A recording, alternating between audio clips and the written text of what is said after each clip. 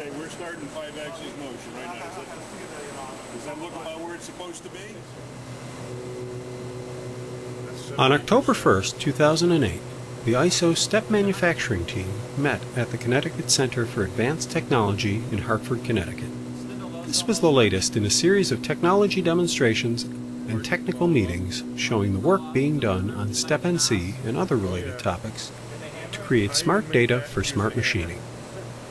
This meeting focused on feed speed optimization, measurement, and closed loop feedback of the measurement results to machining.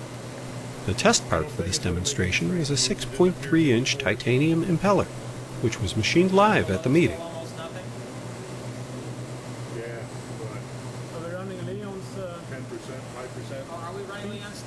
Before the meeting, the team constructed a complete STEP NC machining program for the impeller. As you can see, the STEP NC description contains a CAD model of the final result. A CAD model of the initial stock,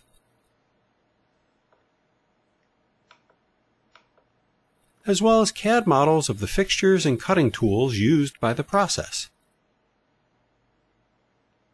The machining process was assembled from tool paths originally generated by the Concepts NREC Max 5 system, which specializes in turbo machinery.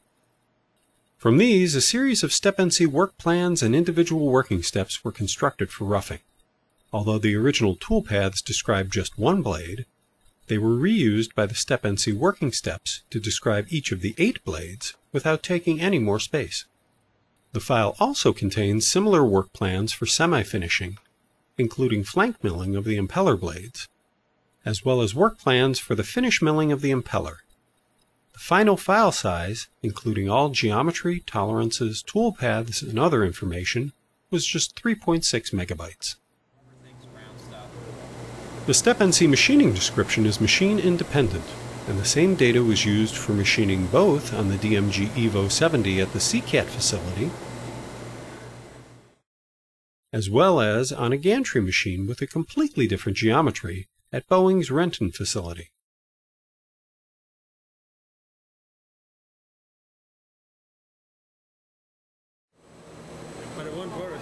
Course, smart data cannot change the laws of physics. No, it's getting closer.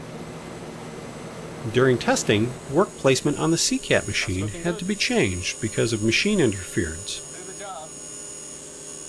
but this did not require any changes to the STEP NC data. Three, call it out. Right up to a hundred, right? The STEP NC description also contains inspection instructions for driving an on-machine probe or a separate CMM.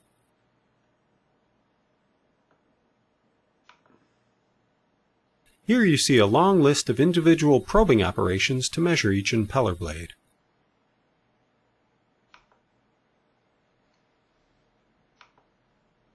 In addition to part geometry and process information, the STEP NC model contains a complete set of datum and tolerance information, such as these surface profile tolerances.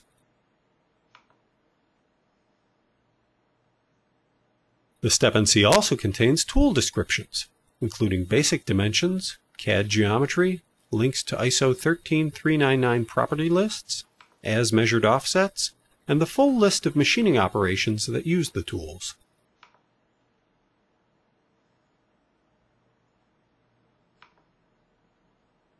And it also contains part features with related tolerances and machining operations.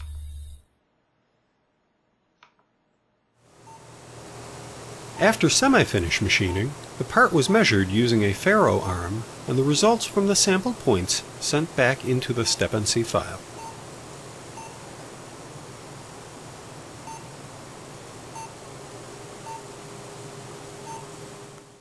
Also at the meeting, technical discussions covered proposed extensions to the STEP NC standard to cover new continuous contact measurement devices that return an entire contact curve rather than single points. Take a look at the new toolpath and in P3max. The measurements were sent back from the STEP NC data to the MAX 5 CAM system, which used the updated descriptions to create an improved finishing toolpath.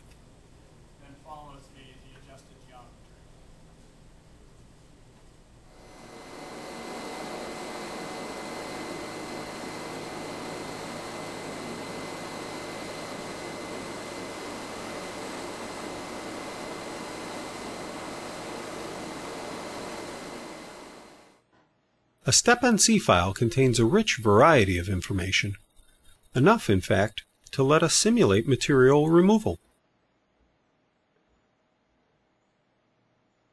From this simulation or other analysis, we can calculate cross-section parameters and store them in the StepNC file for later use.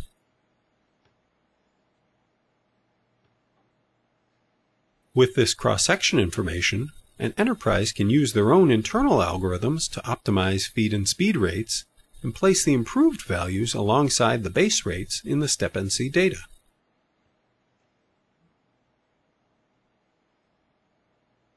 The new values may increase speeds and feeds to boost throughput, or may decrease them to lengthen tool life, even out spindle load, or reduce tool deflection.